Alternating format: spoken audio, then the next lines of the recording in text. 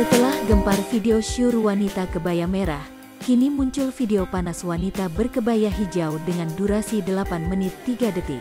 Link video syur wanita kebaya hijau tanpa sensor tersebar di Twitter dan mulai diburu netizen.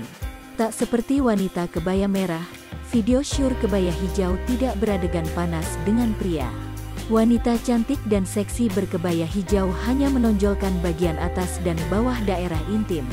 Video panas wanita berkebaya merah hanya berdurasi sekitar 3 menit.